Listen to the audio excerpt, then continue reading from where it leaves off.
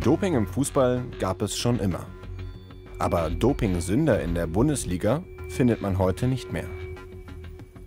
Obwohl es in fast jeder anderen Sportart Skandale gibt.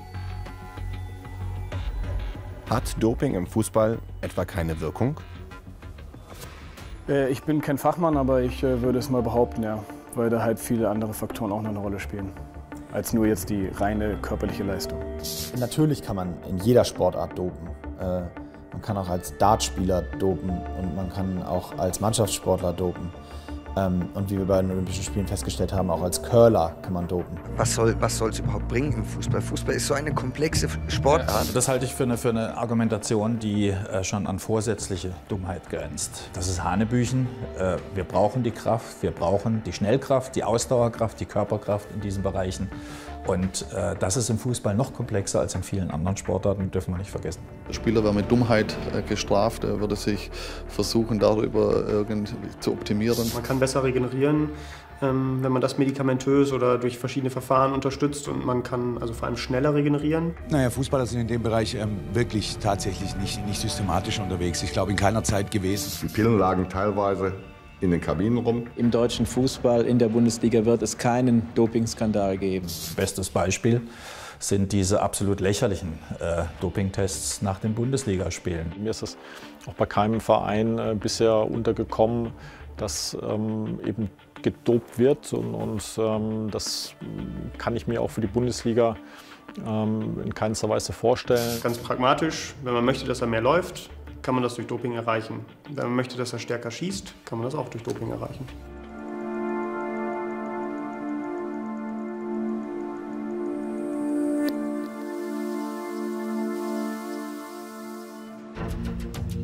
Fußball ist längst ein Milliardengeschäft. Nie war er wertvoller, nie athletischer. Aber wie sauber ist die Lieblingssportart der Deutschen? Wir müssen nicht lange recherchieren, um Dopingfälle im Fußball zu finden.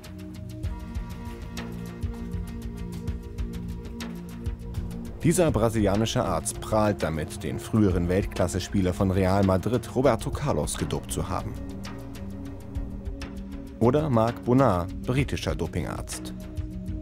Du kannst es auf dem Level gar nicht ohne Doping schaffen. Doping ist eine Tatsache im Sport. Die Sportler wollen einen Fachmann dafür und ich mache es verantwortungsvoll. Stars der Londoner Topclubs Arsenal und Chelsea sowie Spieler vom Sensationsmeister 2016 Leicester City sollen seine Kunden gewesen sein. Er steht für Doping im Spitzensport. Beim spanischen Frauenarzt Fuentes soll die Fußballelite versorgt worden sein. Von Zinedine Zidane bis Ronaldo. Doch Aufklärung? Fehlanzeige. Dopingfälle im Fußball gelangen eigentlich kaum an die Öffentlichkeit. Es sei denn, Spieler wie Sami Nasri posten ihre Fitmacher-Infusionen in den sozialen Medien. Dumm gelaufen, ein halbes Jahr Sperre.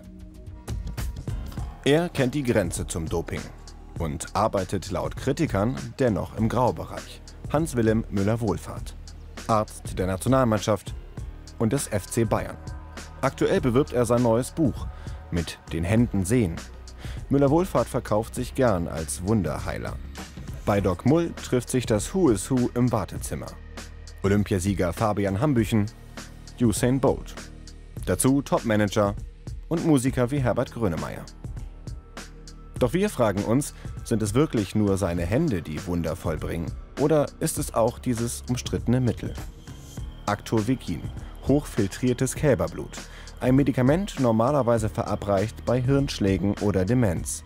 Die Zulassung ist in Deutschland ausgelaufen, die Anwendung allerdings erlaubt. Der behandelnde Arzt trägt die Verantwortung. Wir finden heraus, der Hersteller des Präparats wirbt mit Leistungssteigerung, schnellere Regeneration, Muskelwachstum. Actovegin stand im Ausland auch schon auf Dopinglisten. Als Franck Ribéry 2014 die WM verpasst, ist der Vorwurf aus Frankreich, der Doc habe ihn zu oft fit gespritzt. Bastian Schweinsteiger hingegen schwärmt in US-Medien von dem Wundermittel. Du merkst es nach fünf Minuten in den Beinen. Es ist wie ein Weckruf. Ist Actovegin ein Wirkstoff im medizinischen Grenzbereich? Obwohl es Studien über eine dopingrelevante Wirkung gibt und es offenbar Spuren von verbotenen Substanzen enthält, winkt die nationale Anti-Doping-Agentur das Mittel weiter durch. Doping im Fußball hat Geschichte, obwohl sich anfangs noch darüber lustig gemacht wird. Mit Kaptagon schießen sie keine Tore. Also wenn einer gut laufen kann, dann nimmt Kaptagon und rennt dann wie so ein Geisteskranker, dann mache ich hier die Stadiontore auf, dann rennt er in die Weser. Man muss in erster Linie Fußball spielen. Der deutsche Nationaltorhüter Toni Schumacher wird zum Nestbeschmutzer. In seinem Buch Anpfiff berichtet er über die Einnahme verbotener Mittel. Erst vor wenigen Jahren folgen weitere Geständnisse ehemaliger Spieler. Wenn mich einer fragt, ob früher Captagon genommen wurde, und das ist ja wohl ein Dopingmittel, dann kann ich das mit einem klaren Ja beantworten. Dieter Schatzschneider, bis heute Rekordtorschütze von Hannover 96, unter anderem Bundesligaspieler beim HSV. Das wurde halt verteilt und woher sie es haben. Manche Mal haben Ärzte das durch die Gegend geschmissen und äh, ich sage das jetzt mal so ein bisschen lässig, aber äh, völlig normal, die hatten das halt. Er selbst habe es nie genommen. Namen, Vereine oder Ärzte nennt er nicht. Ich kann ja sowieso aus dem Fußball tausend Geschichten erzählen. Und da, ich sage mal, das Buch Feuchtgebiete wäre wär ein Staubfänger dagegen. Er ist ein Dopingsünder, wie er im Buche steht. In seinem Buche. Jean-François Larios ist der Bad Boy des französischen Fußballs. Meister, Nationalspieler, Dopingsünder mit Captagon. Euh, du bist erheblich konzentrierter. Du hast viel mehr Kraft, aber nicht endlos. Denn dann kommt der Zusammenbruch. Dir geht einfach die Puste aus.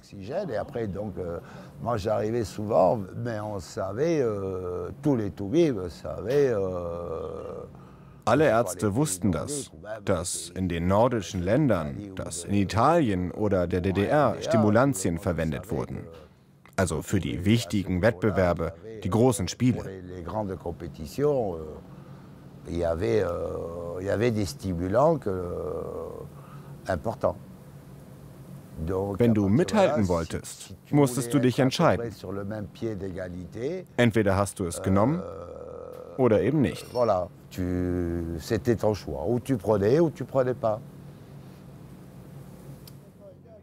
Larios greift über Jahre hinweg immer wieder zu Dopingmitteln.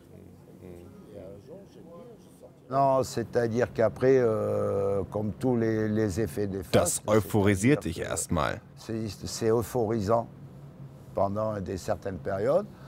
Aber danach stürzt du in eine Depression, in eine Traurigkeit. Euh, das ist die Kehrseite der Medaille.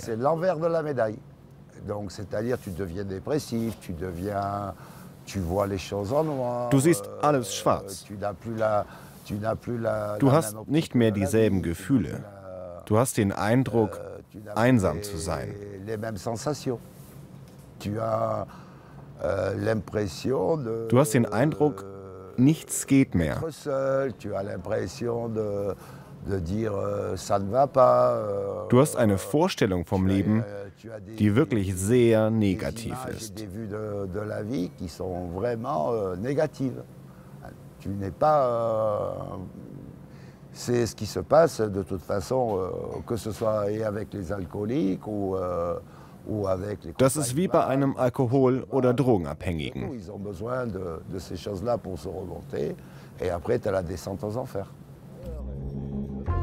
Ständige Exzesse prägen seinen weiteren Lebensweg. Über die Skandale der anderen erfahren wir nichts. Nee, genaueres kann ich dazu nicht sagen. Das müssen andere beurteilen. Ich kritisiere hier niemanden, stelle keinen an den Pranger. Jeder macht das, was er für richtig hält. Ich kann nur sagen, man fragt mich nach der Wahrheit und die Wahrheit ist, dass es ein Schweigegelübde gibt über die Tatsachen des Dopings. Diese Omerta ist lächerlich. Jean-François Larios verliert fast alles, beinahe sogar sein Leben. Einen Herzinfarkt, überlebt er nur knapp. In den 70er und 80er Jahren ist Doping im deutschen Sport ein offenes Geheimnis. Er gilt als Wunderheiler, der Mediziner Armin Klümper. Doch in Wirklichkeit versorgt Klümper hunderte Topathleten mit Dopingmitteln, unter anderem mit Anabolika. Die Mooswald-Klinik wird zum Pilgerziel, auch für Fußballer. Das System Klümper hat Erfolg. Die Bundesligisten VfB Stuttgart und SC Freiburg vertrauen seiner Expertise. Er liefert ihnen, was die Vereine verlangen: leistungssteigernde Medikamente. Um Armin Klümper entsteht ein Dopingzentrum. Die Politik schaut zu. Einer seiner Patienten damals ist ausgerechnet Fritz Sörgel, der Anti-Doping-Kämpfer und anerkannte Pharmakologe. Ich war selber mal als, als äh, Fußballer bei Klümper. Ich hatte die klassische Fußballerverletzung, äh, gerissenes äh, Kreuzband. Und äh, über verschiedene Kontakte, man kam ja nicht so leicht zu ihm, äh, bin ich dann in Freiburg äh, aufgeschlagen. Und er hat mir also ein Rezept, das war von, von, der Länge, also was ich alles einnehmen sollte, was ein, alles ins Knie gespritzt werden sollte. Sogar radioaktive Substanzen sollten ins Knie gespritzt werden. Da ich nun Pharmakologe war, habe ich gesagt, naja, ähm, da ich mit Fußball nicht mein Geld verdiene, muss, ist wahnsinnig gern spiele, warte ich dann lieber auf die natürlichen Heilungskräfte. In der DDR war Doping systematisch verankert, fest nach Staatsplan. Die Deutsche Demokratische Republik wollte ihre Leistungsfähigkeit beweisen. Sportliche Erfolge wurden zum Prestigeobjekt. Selbst Kinder bekamen Dopingmittel verabreicht. Und der kleine André da hinten drin mit Knieschützern und Handschuhen aus dem Westen. André Schmidt stand früher für Lok Leipzig zwischen den Pfosten. Heute trainiert er Torwarttalente. Die Vergangenheit holt ihn immer wieder ein. Und wenn wir über das Mittel sprechen, was ich da genommen habe, was viele DDR-Leistungssportler, glaube ich, genommen haben, Dynvital, das Mittel selbst als Vitamingetränk ähm, verabreicht und möglicherweise in einigen Chargen angereichert mit STS 646 Mestanolon anaboles Steroid.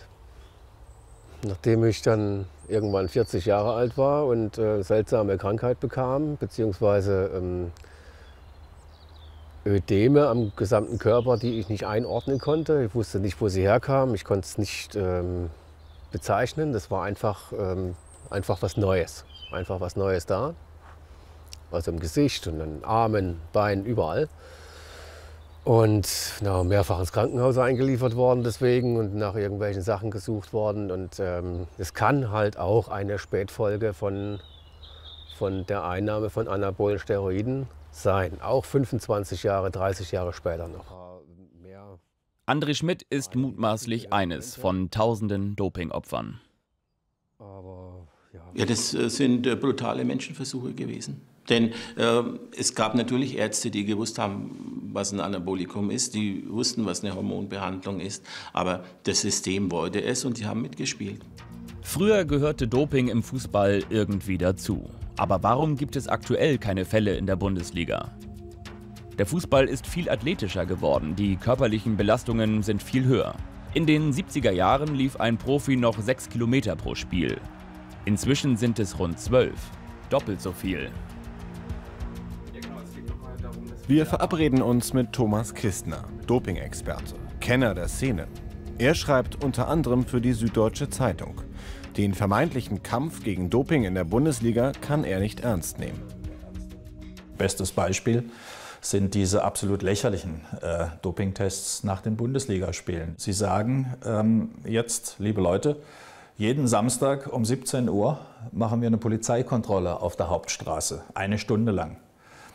Ähm, an alle Säufer dieser Nation, dann wissen die Leute, äh, sie können sich rund um die Uhr die Kanne geben. Sie dürfen halt nur eins nicht machen. Sie dürfen, wenn sie an der Hauptstraße langfahren wollen, samstags um 17 bis 18 Uhr, äh, müssen sie entweder Umwege fahren oder aber sie sind halt zu dieser Zeit mal nüchtern und fahren dann einfach geradeaus durch. Also das äh, sollte man besser ganz bleiben lassen. Das hat im Ansatz nichts mit unabhängigen Tests zu tun.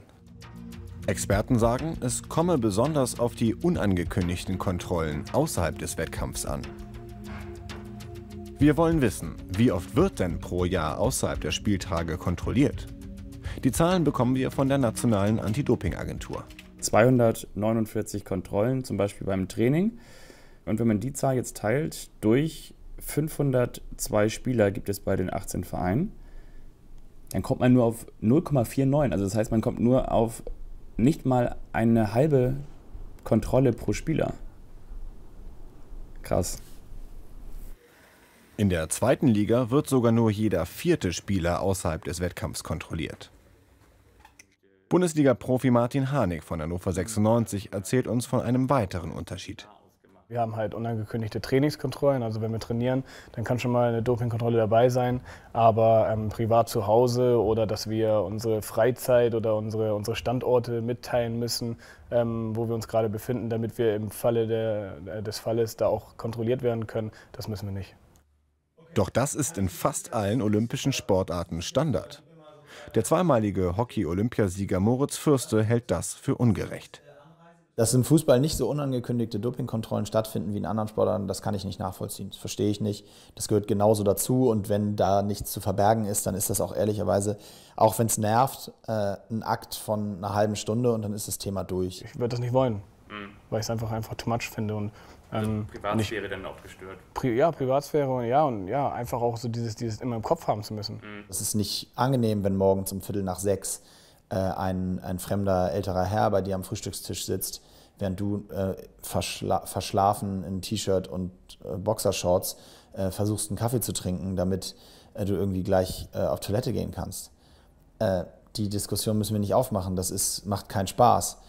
Aber es gehört dazu und bei aller Kritik, die ich an, dem, an der Art und Weise, an dem System äußere, ist das total wichtig, weil so, nur so können wir garantieren, dass wir für einen sauberen Sport stehen. Wie unangemessen auf Dopingtests im Fußball reagiert wird, zeigt diese Bildschlagzeile. Ein unangekündigter Test beim Nationaltorwart Manuel Neuer.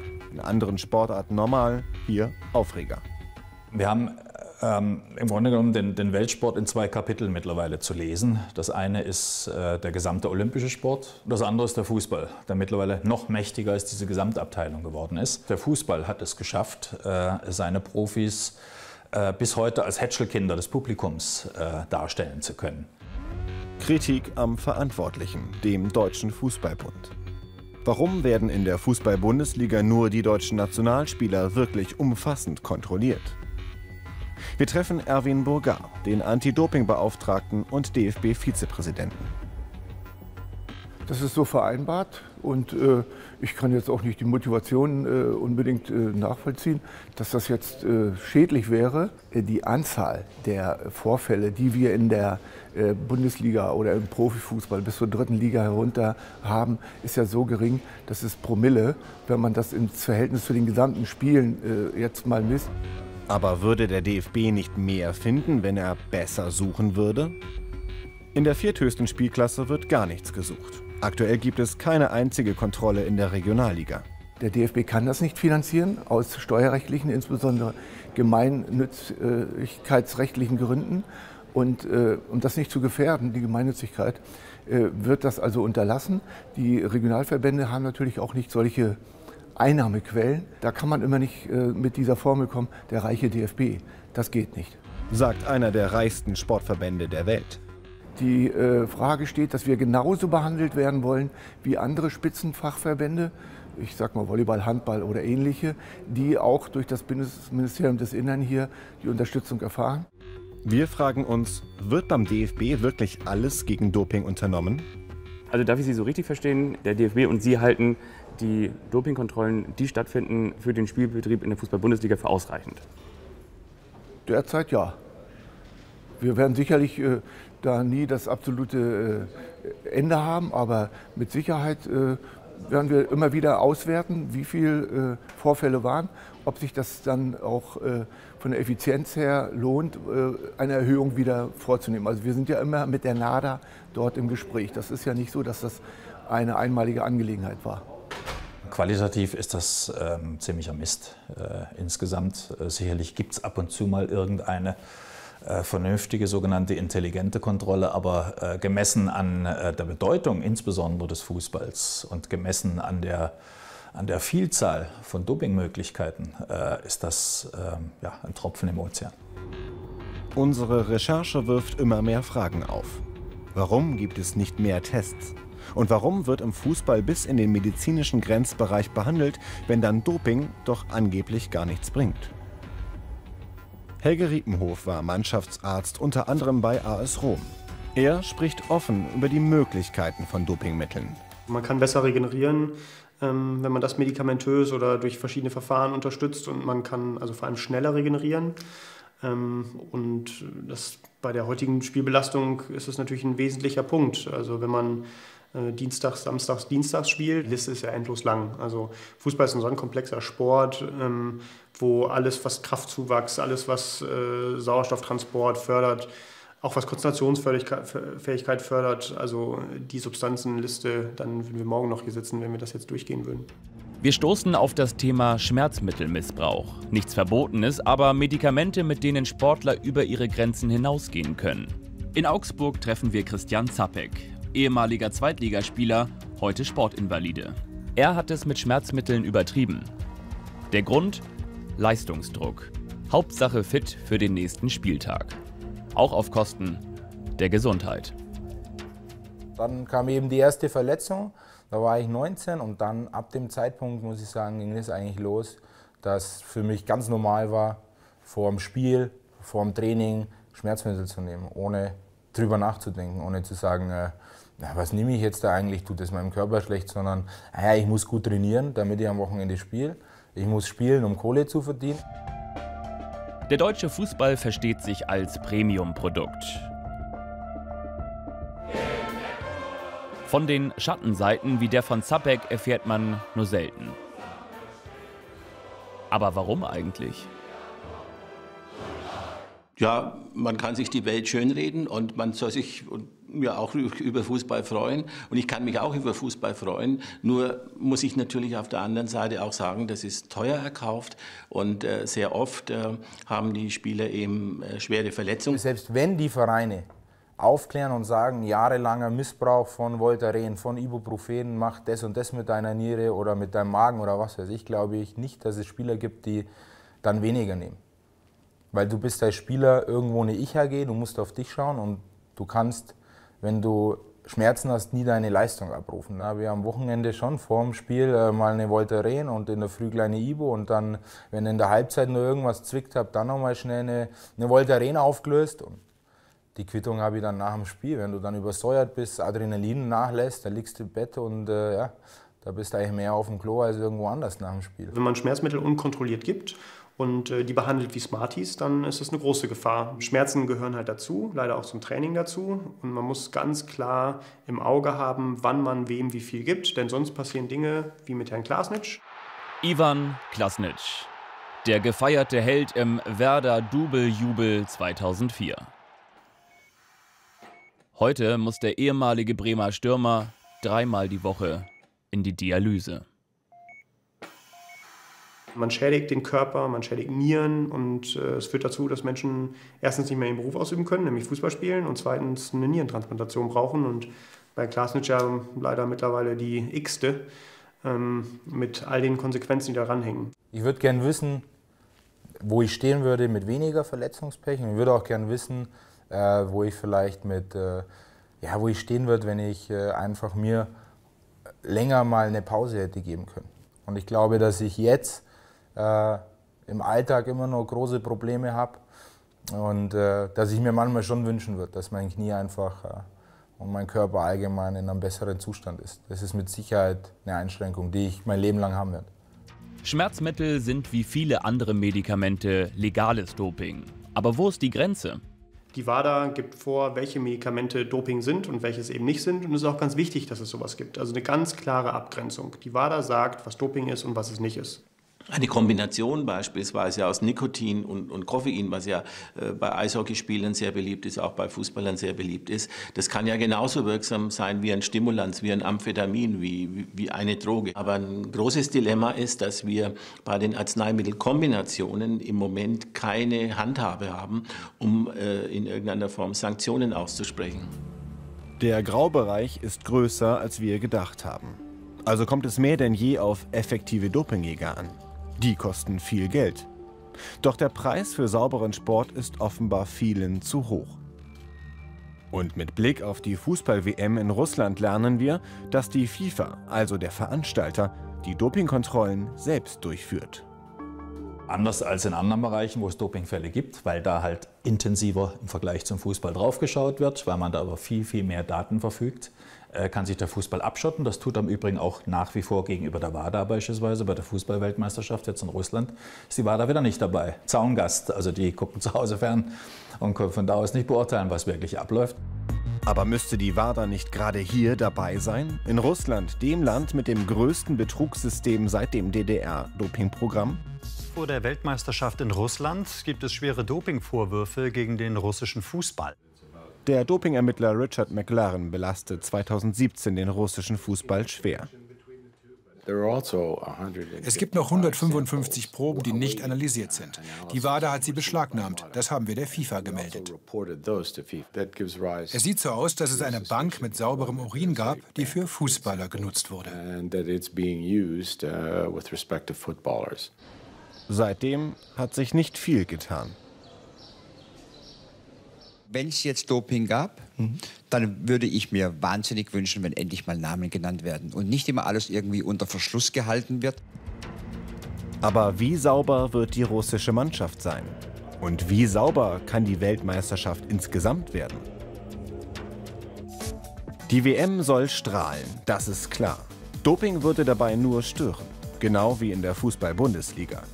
Gibt ja auch keine Fälle. Aber was hat das schon zu bedeuten? Natürlich kann man in jeder Sportart dopen. Wenn man möchte, dass er mehr läuft, kann man das durch Doping erreichen. Anaboles Steroid. Nicht mal eine halbe Kontrolle pro Spieler. Deswegen, ja, glaube ich, ähm, sollte man dann eben auch den Kontrollen ähm, vertrauen und ähm, vor allem den Spielern auch vertrauen. Also darf ich Sie so richtig verstehen, der DFB und Sie halten die Dopingkontrollen für ausreichend? Derzeit ja. Das ist so eine Art Exorzismus. Schaut mal her, wir, wir haben da eine ganze Menge. Und wenn es dann zu ähm, Studien beispielsweise kommt, dann kommen haarsträubende Ergebnisse zutage. Im Spitzenbereich hat es da über Jahre hinweg ähm, Erkenntnisse gegeben, die den Verdacht nahelegen, dass eigentlich in jedem Spitzenspiel von jeder Mannschaft äh, ein Gedopter äh, mit erhöhten oder auffälligen Testosteronwerten zugange ist all diese Dinge verschwinden sofort in der Schublade. Also die, die Nähe zur Wahrheit war im Fußball äh, schon immer relativ äh, gering. Äh, man wollte nie, auch wenn die spektakulärsten Fälle äh, bekannt geworden sind, wirklich äh, zugeben, auf welcher breiten äh, Basis im Fußball auch tatsächlich mit Dopingmitteln gearbeitet wird.